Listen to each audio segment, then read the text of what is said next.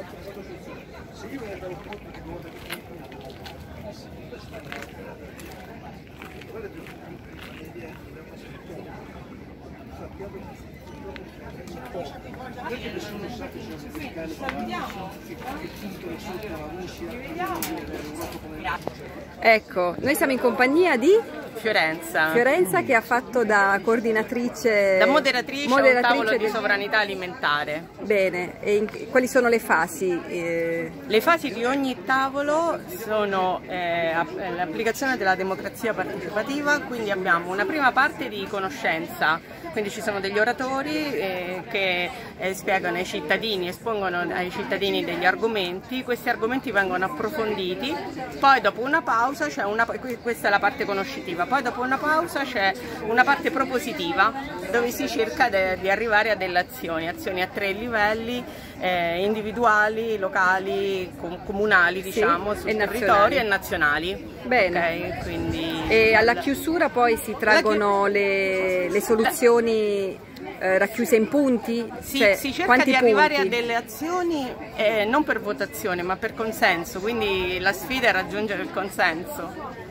E e in questo senso le, le azioni vengono, devono essere condivise.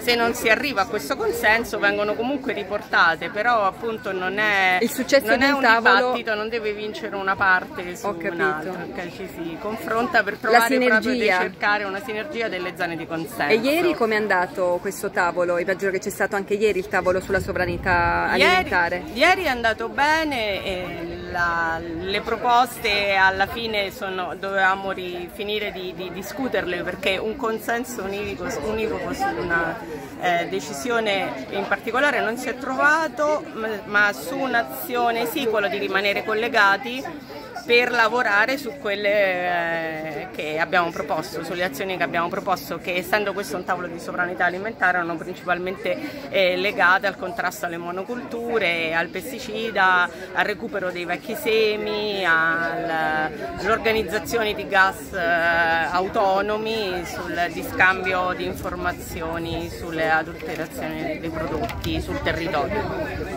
E questo è un tavolo, il Nord 2, legato a quindi una zona geografica e le persone di ieri cercavano di fare rete per trovare degli accordi sul territorio. Ma poi c'è uno scambio di numeri di telefono? No, no, no, no, ieri... Quindi la rete come si crea? No, la rete già esiste tra le persone iscritte, la rete già esiste tra le persone iscritte ovviamente, però la...